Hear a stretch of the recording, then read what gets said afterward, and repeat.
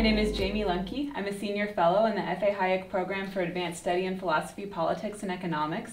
I'm here with my colleague Dick Wagner, the author of a book we're going to be discussing today James M. Buchanan and Liberal Political Economy A Rational Reconstruction. Thank you for joining me here today. Well, thank you for inviting me. I'm looking forward to our conversation.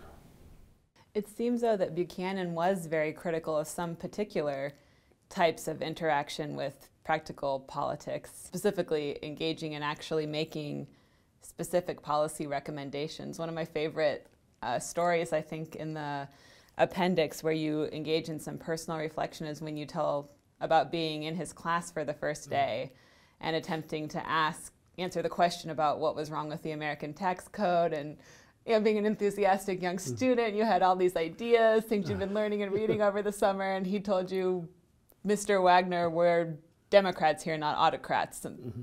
paraphrasing. You, you bring me down a long, long way, uh, far back. Uh, yeah, I had spent the summer uh, before going to Virginia reading, I read Buchanan, a textbook on public finance. Uh, I read things by his academic advisor who he didn't like. I didn't know that at the time on, uh, on, on, tax reform, all this stuff. And he asked this question uh, What was wrong in the very first question in class? What was wrong with the American tax system? And I piped up and answered the question, I thought beautifully, about closing loopholes, lowering rates, and all this. And he shot right back, Mr. Wagner. You have no business answering a question like that. Yeah, we're Democrats. I didn't know what he meant. Uh, that, that came later.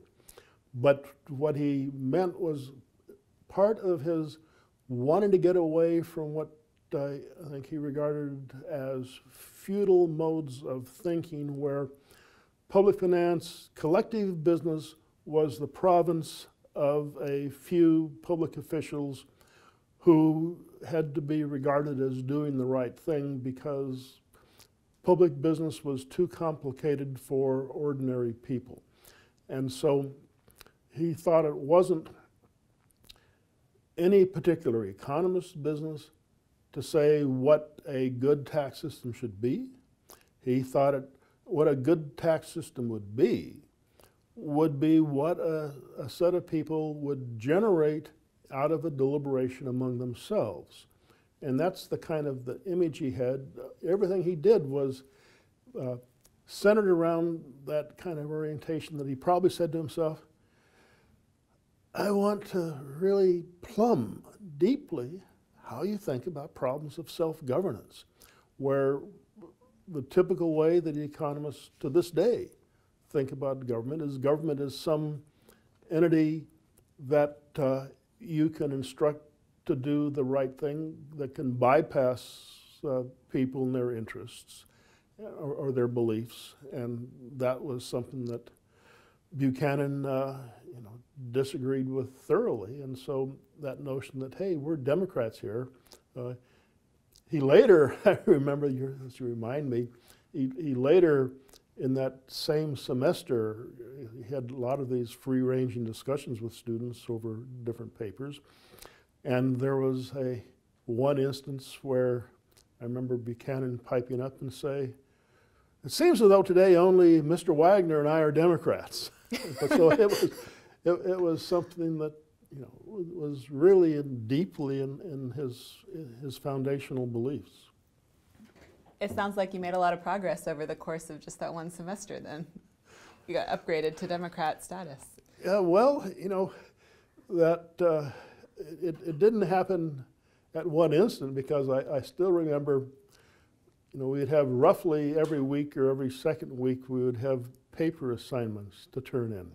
He assigned at the end of this first class period, after I'd embarrassed myself, he assigned this uh, topic, said, I've heard it said that if a fly, I think it was a fly, it might have been a flea, but a grasshopper, but it was some insect.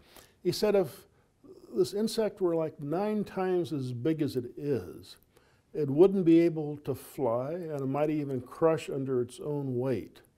Then he said, well, you know, government has grown. It used to be less than 10%, and now it's up around 40%.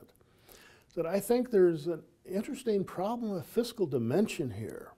And so for next week, you all should go out and write a small essay on the problem of fiscal dimension. I put aside my embarrassment for a minute, shot up my hand, and said, Mr. Buchanan, could you give us a clue of what you're looking for? And he instantly shot back I said, Mr. Wagner, if I knew what I was looking for, I wouldn't care to hear what you think. So, oh, shortly thereafter, I, I came to understand his, his mode of instruction, and I think in, internalized a lot of that myself. It's always a pleasure talking to you, Dick, and today was no exception, so thank you so much. Well, thank you so very much. I always love talking to you too.